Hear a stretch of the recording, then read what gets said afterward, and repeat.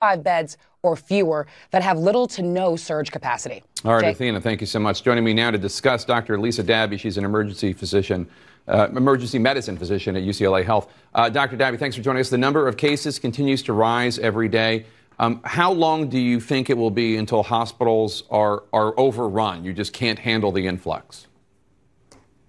Jake, that's a tough question to answer. We have definitely seen an increase in the patients coming in. This week is incredibly different than last week. It is here. We're seeing patients coming in. I anticipate that in the next one to two weeks, we're going to start to see very large volumes of very sick people.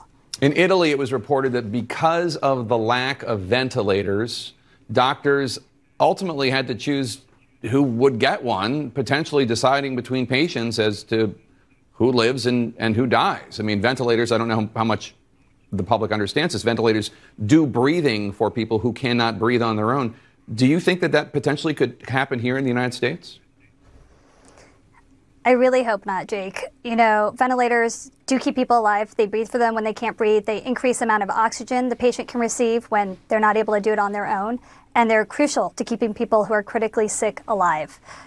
You know, the whole goal of social distancing is to slow down the speed of transmission so that we don't get overwhelmed, so that we don't have thousands of people coming in at the same time needing ventilators because we don't have thousands of ventilators. It's not going to work. I personally don't want to be in a position where we have to let somebody die. That's not what we do in the United States of America. We've got to work to keep everybody alive and we've got to work to increase supply so that we have enough ventilators should we need them. So the CDC changed some of their guidelines. I, I think they did this ult- uh, ultimately to, in a way to, of acknowledging uh, the dire conditions that hospitals may soon find themselves in. People like you, uh, they recommended that healthcare workers, as a last resort, might think about reusing masks uh, or even using a scarf or a bandana.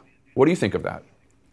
So I think that's absolutely ridiculous. I can't imagine putting on a bandana to go take care of a patient with a highly infectious disease that could kill me. I will not do that.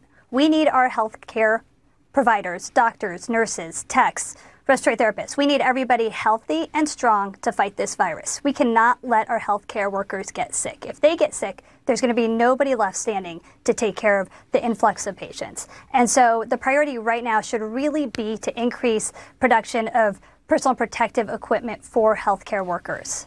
We know that young people with mild symptoms who think they have coronavirus should stay home. What about if an elderly patient uh, has symptoms uh, and the hospitals are overrun and there's a lack of supplies? Should they stay home too, unless they obviously need, you know, dire medical help at, at once? So we're advising everybody, all ages, if your symptoms are mild and you can manage them at home, please stay home. The mild cases will get better on their own. We really want to reserve the emergency department and the hospitals for the people who are critically ill, for the people who can't breathe and need oxygen, for the people who are vomiting and getting dehydrated, for the people whose blood pressure is low and they're confused. Those are the people we want to see in the ER, regardless of age.